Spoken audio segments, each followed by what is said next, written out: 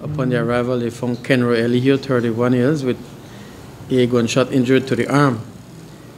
Information received from the area is that two persons came to a yard in the area in Victoria Street and they wanted to shoot at someone. And at this point, a police officer who was in the area responded to the shots fired and began to fire shots towards the male persons who were firing.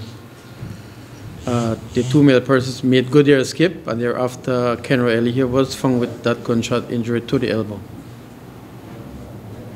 Have any of the suspects been identified?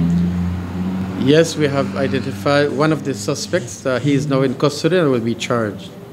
Okay, and in, terms of a motive behind this shooting, any motive at time? Uh, we have not established a clear motive. Uh, the information is that they came to that yard and wanted to shoot at someone.